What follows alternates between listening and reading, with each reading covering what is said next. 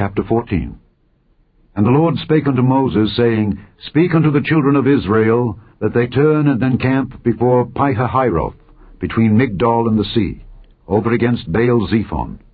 Before it shall ye encamp by the sea. For Pharaoh will say of the children of Israel, They are entangled in the land, the wilderness hath shut them in. And I will harden Pharaoh's heart, that he shall follow after them, and I will be honored upon Pharaoh and upon all his host, that the Egyptians may know that I am the Lord. And they did so. And it was told the king of Egypt that the people fled, and the heart of Pharaoh and of his servants was turned against the people, and they said, Why have we done this, that we have let Israel go from serving us? And he made ready his chariot, and took his people with him. And he took six hundred chosen chariots, and all the chariots of Egypt, and captains over every one of them. And the Lord hardened the heart of Pharaoh king of Egypt, and he pursued after the children of Israel, and the children of Israel went out with an high hand. But the Egyptians pursued after them, all the horses and chariots of Pharaoh, and his horsemen and his army, and overtook them encamping by the sea, beside Pihahiroth, before Baal Zephon. And when Pharaoh drew nigh, the children of Israel lifted up their eyes, and behold, the Egyptians marched after them. And they were sore afraid, and the children of Israel cried out unto the Lord. And they said unto Moses, Because there were no graves in Egypt, hast thou taken us away to die in the wilderness? Wherefore hast thou dealt thus with us to carry us forth out of Egypt? Is not this the word that we did tell thee in Egypt, saying, Let us alone, that we may serve the Egyptians? For it had been better for us to serve the Egyptians than that we should die in the wilderness. And Moses said unto the people, Fear ye not, stand still, and see the salvation of the Lord, which he will show to you today. For the Egyptians whom ye have seen today, ye shall see them again no more forever.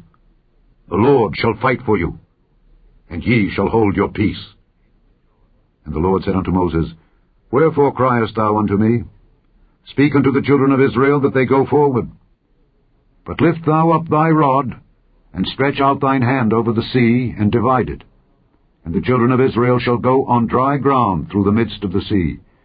And I, behold, I will harden the hearts of the Egyptians, and they shall follow them. And I will get me honor upon Pharaoh and upon all his host, upon his chariots and upon his horsemen. And the Egyptians shall know that I am the Lord, when I have gotten me honor upon Pharaoh, upon his chariots, and upon his horsemen.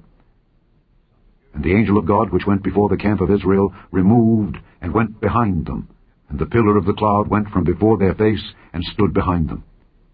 And it came between the camp of the Egyptians and the camp of Israel. And it was a cloud and darkness to them. But it gave light by night to these, so that the one came not near the other all the night. And Moses stretched out his hand over the sea, and the Lord caused the sea to go back by a strong east wind all that night, and made the sea dry land, and the waters were divided. And the children of Israel went into the midst of the sea upon the dry ground. And the waters were a wall unto them on their right hand and on their left. And the Egyptians pursued, and went in after them to the midst of the sea, even all Pharaoh's horses, his chariots, and his horsemen. And it came to pass that in the morning watch the Lord looked unto the host of the Egyptians through the pillar of fire and of the cloud, and troubled the host of the Egyptians, and took off their chariot wheels, that they drave them heavily, so that the Egyptians said, Let us flee from the face of Israel, for the Lord fighteth for them against the Egyptians.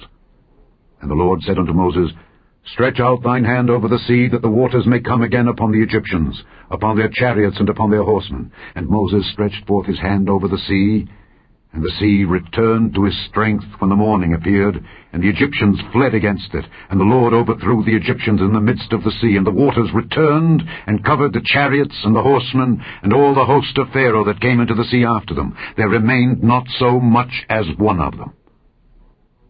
But the children of Israel walked upon dry land in the midst of the sea, and the waters were a wall unto them on their right hand and on their left. Thus the Lord saved Israel that day out of the hand of the Egyptians. And Israel saw the Egyptians dead upon the seashore. And Israel saw that great work which the Lord did upon the Egyptians, and the people feared the Lord, and believed the Lord and his servant Moses.